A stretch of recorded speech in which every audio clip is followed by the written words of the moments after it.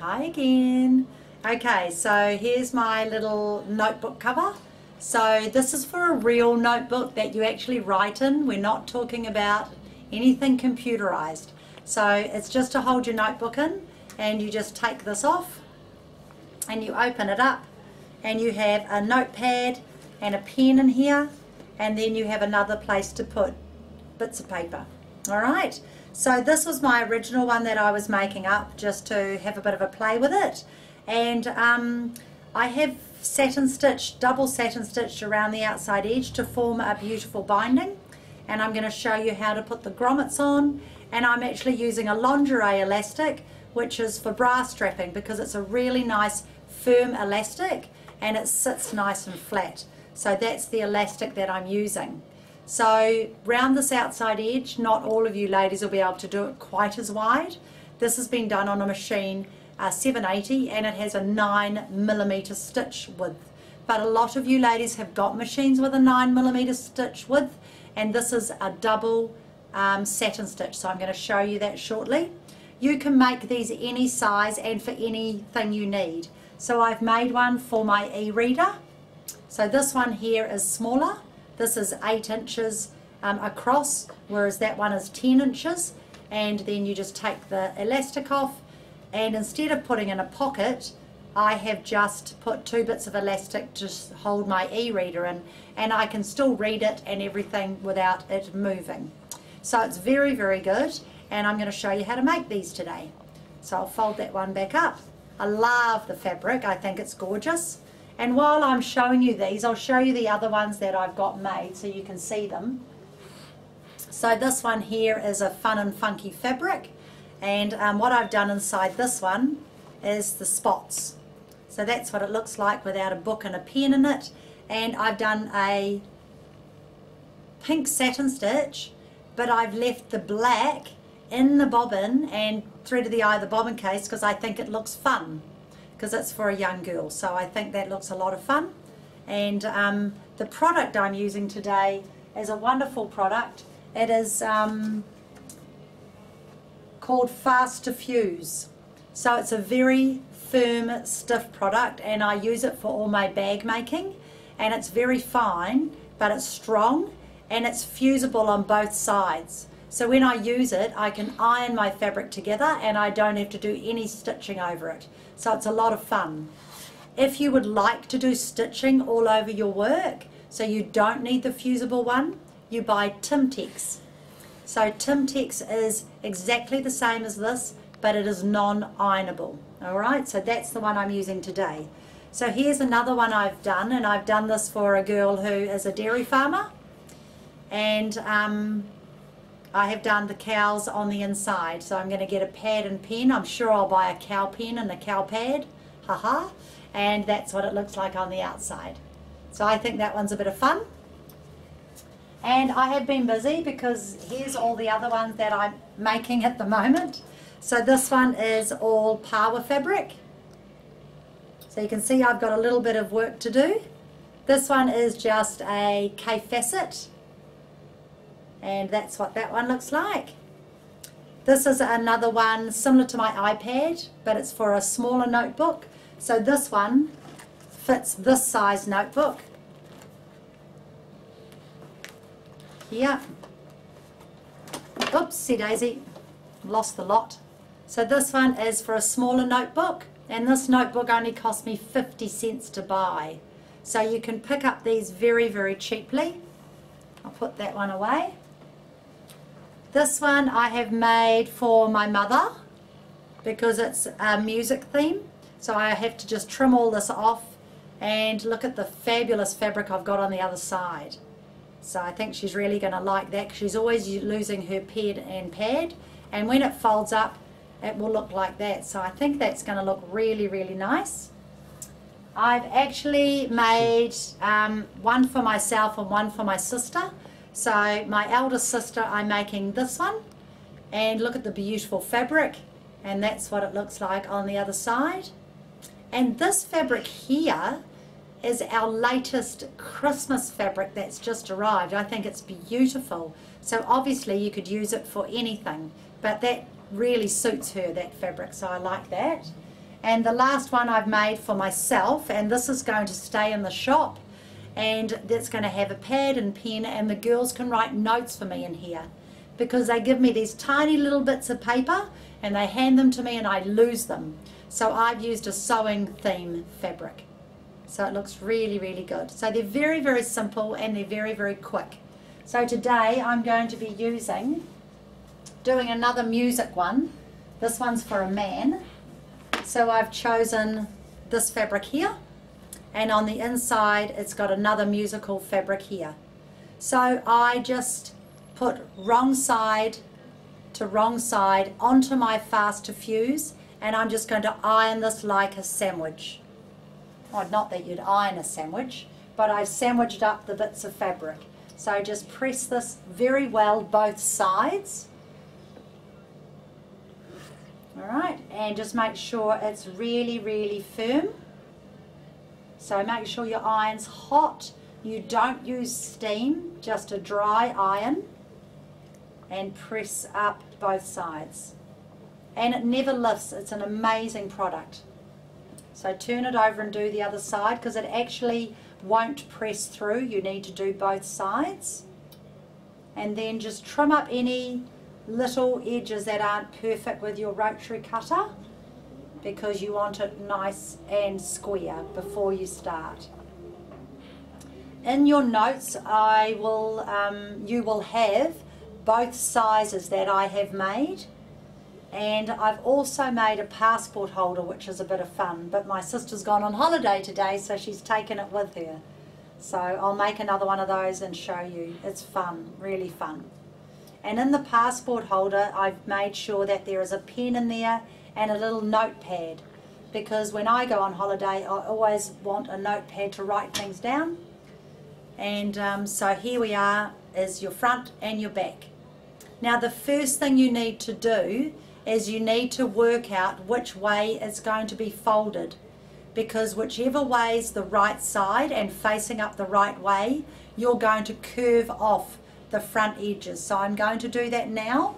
And you can either just um, go into the kitchen and get a plate and use that as your curve, but I've got a pretty good eye. So I'm just going to curve off one edge like that. And I'm cutting that up there because it wasn't square. And then I'm just simply going to sit this curve here and I will do the same on this edge here. So I'm just copying the curve I did so they end up the same. Here we are. Now I'm just going to make sure this is trimmed up perfectly before I start. You want that edge to be nice and straight because you're going to be satin stitching it. Do the same to this one, make sure it's really square and nice and tidy and exactly the same to the end. So just make sure you've done it perfectly. This is where your rotary cutter and blade comes in and your ruler's coming well. So am I happy with that? No, see it's still a little bit um, loose on that edge so I'll just trim that up a bit more. I've got more fabric than I have of my fast to fuse. Here we are. And again, I can see that's not perfect. You need to do that now. Gosh, I'll end up with no, nothing left. There we go. Happy with that now. Now I can see it's not pressed enough, so I'll give that another quick press. I can see just in the middle there I've missed a little bit. So make sure you do that. Now you're going to put your markings on for your spine. So I have to have two markings here and two markings here. So the first marking Oh, I need to get one that I've already done so I get the markings right. Because I've got my notes in front of me. So my first marking, I'm going to use my little charcoal liner, which are brilliant. And it's going to be on my curved end, three inches from the end. So I'm going to measure three inches across and I'm going to draw a line then I'm going to draw another line half an inch away. Alright. Then I'm going to turn it around and on this end I'm going to draw a line three and this one is actually three and two eighths, which is fine.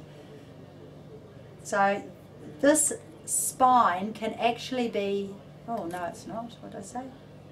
Sorry, three and seven eighths it is. Oh no, I'm going from the wrong end. Should we try that again? Third time lucky. It's actually, it is three and seven eighths. So you draw a line there and then another one half an inch away. So you should have two lines, two rows here and two rows here. And now you're going to straight stitch down those to form your spine. So if you needed something thicker, you'd make your spine bigger. All right, so I'm going to do my two rows of straight stitching.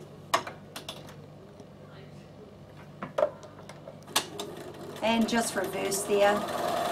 Come to the other end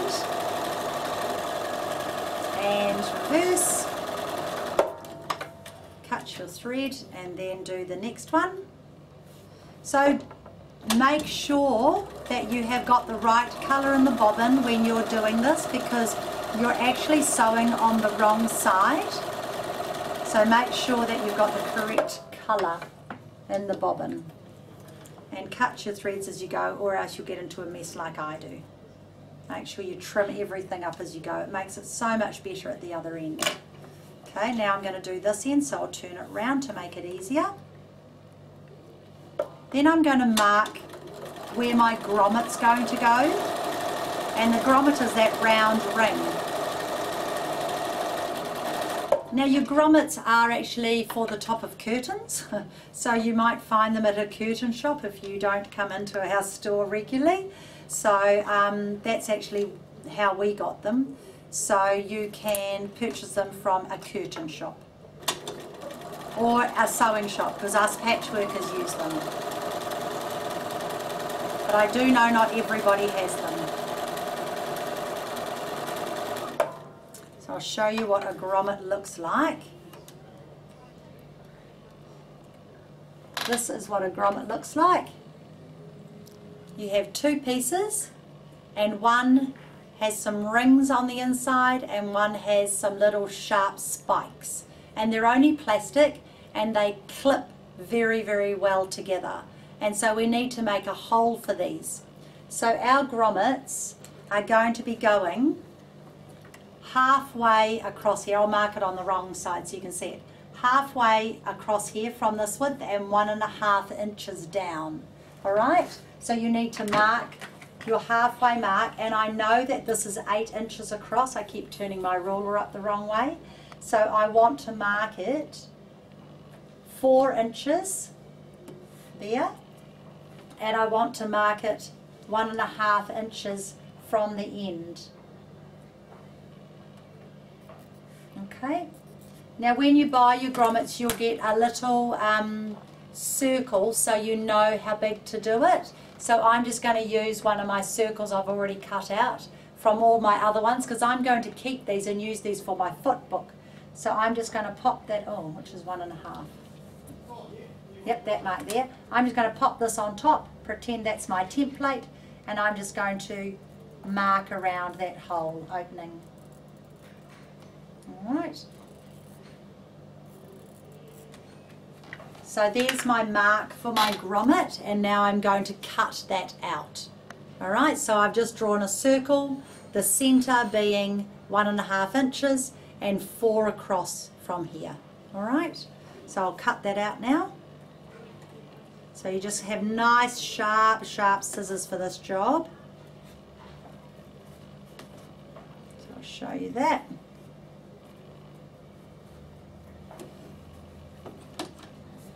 So just cutting it completely out and making a circle.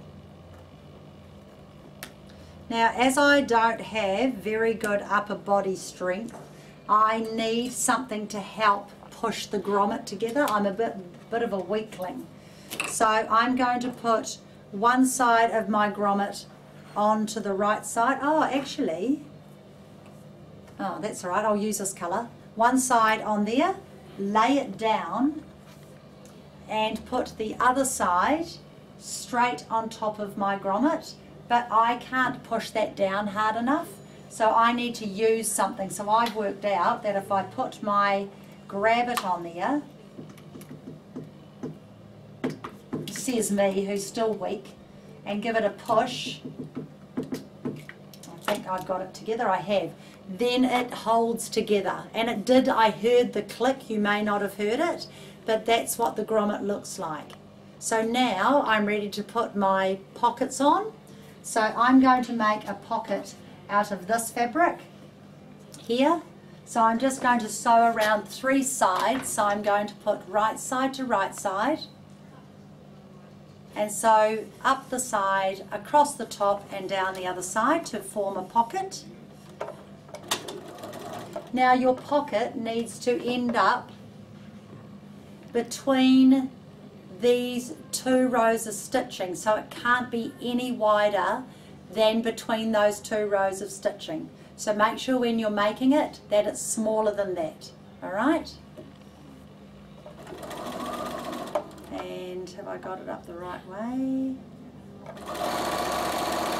Just checking. Because I think that way's up so I need to go this way now. So just sew three sides, or if you've got enough fabric, you just fold it in half. So I need to just measure that my pocket is going to be no bigger than say four and a quarter finished. So let me just measure that. Oh, that's way too big. I made too big a pocket. I'm just going to trim that down. So it looked too big. So I'm just going to trim that down so that will end up four and a quarter finish. So I'm going to cut that over here. Trim off some. It's too big. Now when I stitch it, that'll be perfect.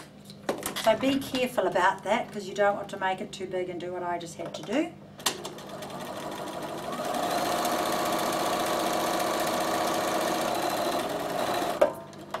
Now what I like to do is I then like to iron a piece of interfacing across the top so that this will make it nice and firm because you're going to be putting your notebook in it. So it just firms up the top edge. So just iron a bit of interfacing on, doesn't matter what sort, just any sort of interfacing. Now what I'm going to do is I'm going to clip across these corners so I can turn my pocket through So clip across the corners and then you know what I'm going to do. I'm going to turn it through and use my point turner because I love it. So turn that through. You also know which is the right side because you can feel the interfacing on there. So it is this side, it's nice and firm. And then just push your point turner to get your nice points on your pocket. So much better. And then give that a press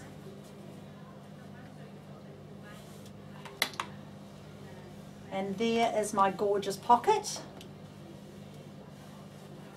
So there's my pocket. Now I'm going to do the little flap, which is this flap here to hold my notes and I'm just doing a small one. So I have found the fabric out of my scraps of my outer and I've found the music notes so I'm going to use that on the inside and then I'm just lining it with some scraps of my other fabric. So I think that's going to look really, really cute. It's not supposed to be cute, it's for a man, but it's going to look nice. Iron one side and then iron the other. And remember, trim it off before you do the next step. Now this one, I'm going to be putting on the inside, I'll turn it around that way, on the inside here. So I'm going to curve off this edge. So make sure you check which way is up and you've got it up the right way before you trim off this curve. All right? I'm going to throw something at the cameraman soon if he doesn't stop yawning. I think he needs to start learning how to sew so that he won't yawn so much when I'm teaching. So now I'm going to curve off the edge and I'm going to trim across the bottom and you've got a gorgeous little pouch. So this is going to have two rows of satin stitch on it. All right, so I'm now going to put it onto zigzag and I'm going to put it on the widest width your machine can do and right down to just two clicks so it'll be really close. Now I'm going to run my foot, uh, my piece of fabric in, on the inside edge of my foot. Can we see? Hang on, I'll hold that down there. Like this. So it's just going to sew over the edge of that fabric. Alright, so you just run, that's, that's where you're going to place your fabric. Just so you know, that's how I get a very nice neat edge. So I'm just going to stitch a row of satin stitch.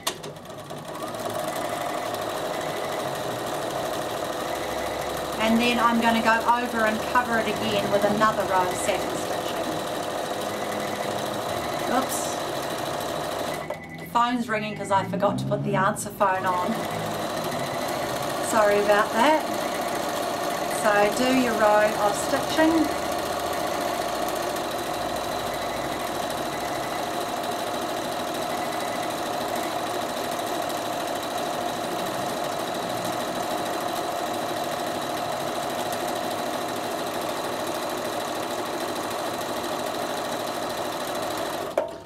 and then you're going to go over that with a second row of stitching and that's how I get the beautiful finish on my satin stitch. And I'm using standard sewing thread so standard Metrosene in the top and in the bottom. And I've threaded the eye of the bobbin case to make it a nice tight satin stitch. Alright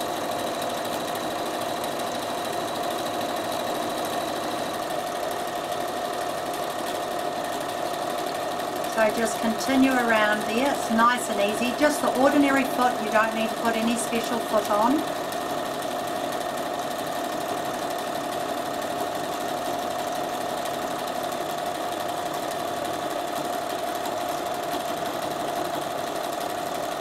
And this is the outside finish that I've done on my notebook covers.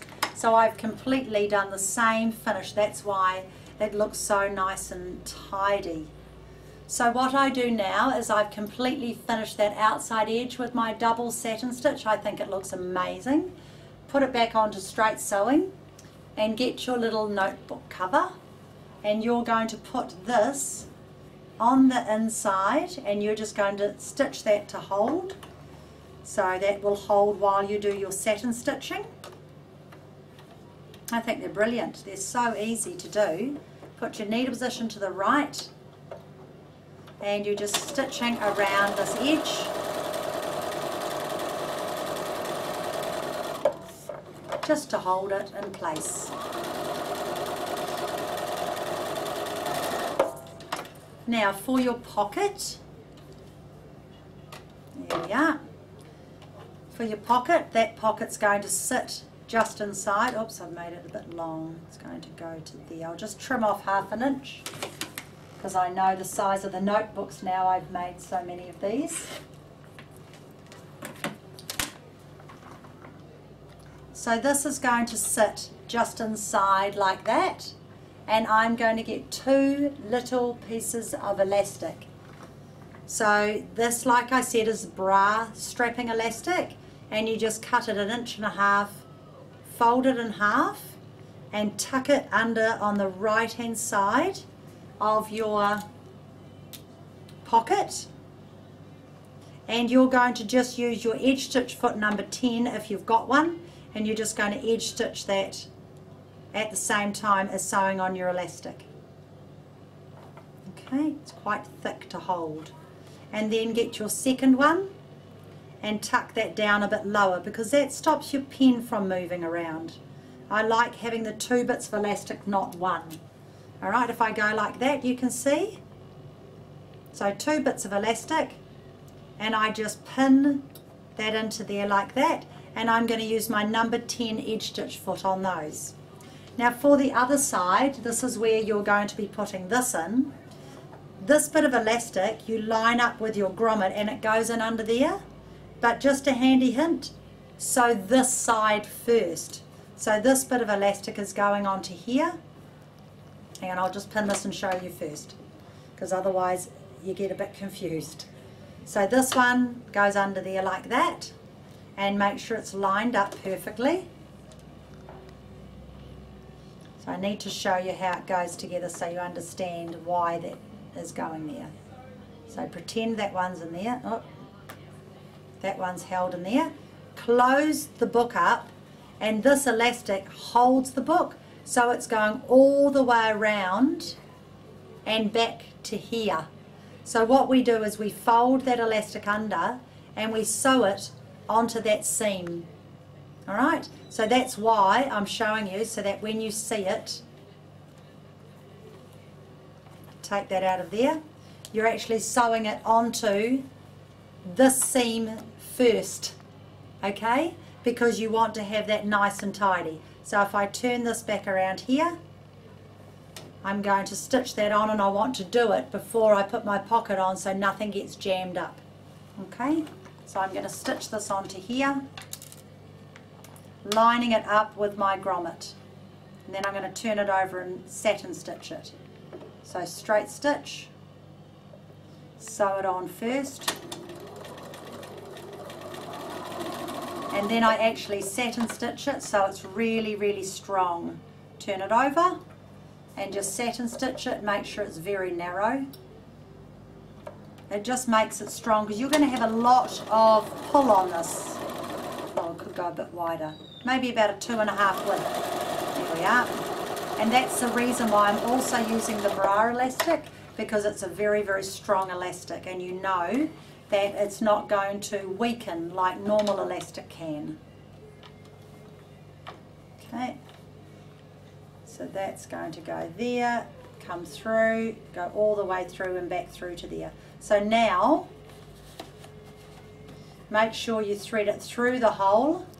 There we are, make sure it's flat and it's threaded through the hole. Flip this down and then you're just going to get the end of it and tuck it in by about half an inch. I've allowed half an inch allowance in your notes. Okay, so just tuck that in about half an inch and you're going to edge stitch that on. So if you get it all ready, you can edge stitch them both at once. So now I'm going to use my number 10 edge stitch foot and straight sewing and I'm going to put it on left needle position.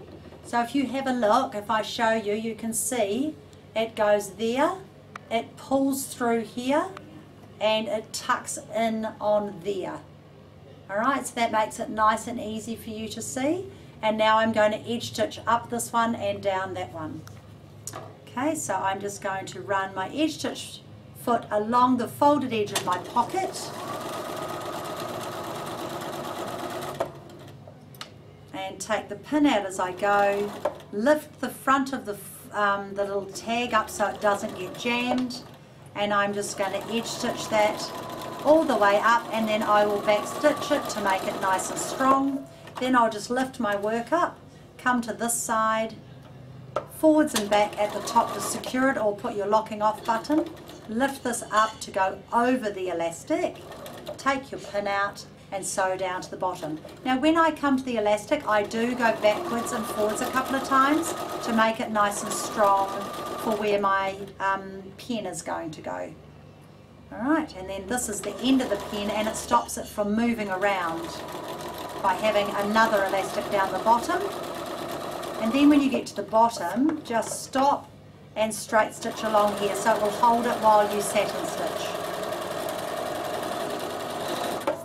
Okay, and there you have it, nearly all finished. So the next step is just to trim this off to make sure it's tidy Always trim as you go and you'll get a much better result of your work. So I'm just going to trim this off just to tidy it up. It's looking not too bad, but it could do with a little tweak. And trim the side one up as well. It's amazing the difference if you just take the time to do this. There we go and if I show you you can see now what it's going to look like and I will fold oh do some pressing just some finger pressing down your spine with this product and it will hold it really, really well. So just finger press down here to give it its crease lines. So now you can see it's going to fold in there, fold there, and you just do it up like that. Turn that under, turn that under, and there's your nearly finished result. So they're a lot of fun. So now to finish this off, all I do is open this back up and I do my double satin stitch round the outside edge. So I'm going to put it onto zigzag and the widest stitch my machine can do is 5.5 on this machine. So I go right out to 5.5. I start from one corner and I simply satin stitch right around the whole outside edge and then I go over it twice. And I'm not going to do it all, I'm just showing you. So just go right around here, I'll stop here and I'll just do it again. Go right around the whole thing and then do it a second time so that you get a wonderful result. Because once is not enough on something like this.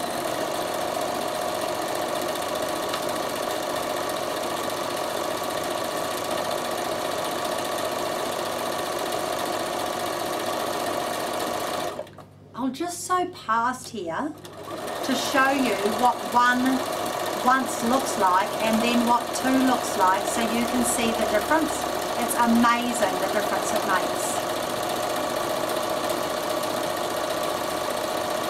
I'll just go up to my other fold line so I can show you.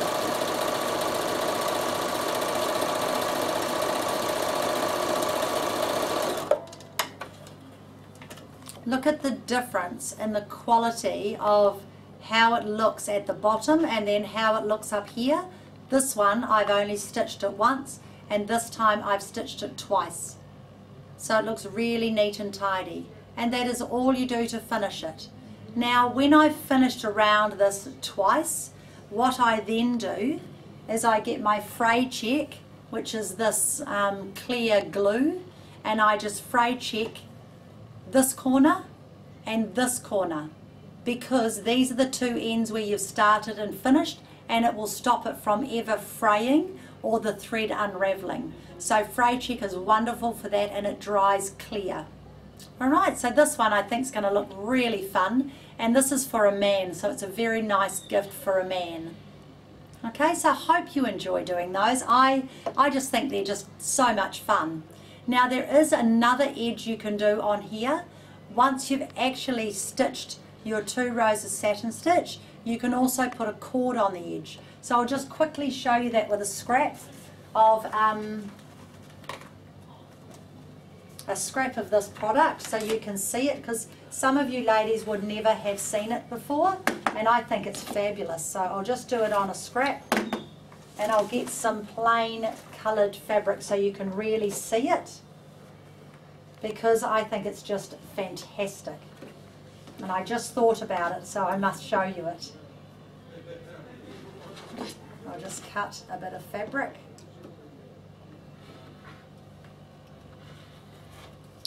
I don't need to do two layers, I can just do one. What's amazingly about this, this won't actually, the heat of this won't get to the other side and it won't stick to my iron. So I'll just quickly do one side. So say you've done your two rows of satin stitching on with your fabric both sides. Oh, it's hot.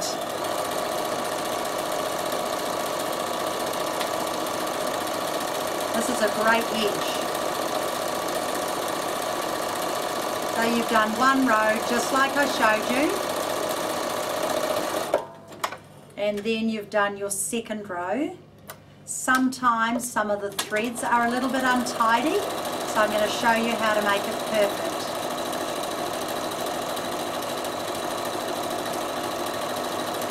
You really do need the other bit of fabric on the back, but it's okay, it's just to show you.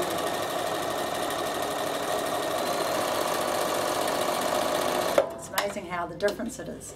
Right, so sometimes you get these little frayed little edges. Now to counteract that, get a bit of your cord, you can match up the right colour. I'm just going to do white so you can see it. Sit it beside your stitching you've already done. And what I use is my number six foot, but I'm not going to. I'm just going to show you can do it. Bring your width down to about three width and one length and zigzag over your cord and it's going to actually stitch it onto the edge of your satin stitch. It's a really, really nice finish.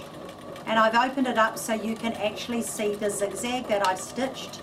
And you can use a different colour as a feature if you want, but it's a really nice way of um, finishing off a satin stitch edge if it's not enough for you. Now you'll be able to see this lovely and clear because I've actually done white cord. So it is simply a zigzag that is then gone on the edge of the satin stitch and it makes a really really nice finish and I do that around placemats and you could do it around these book covers as well if you like.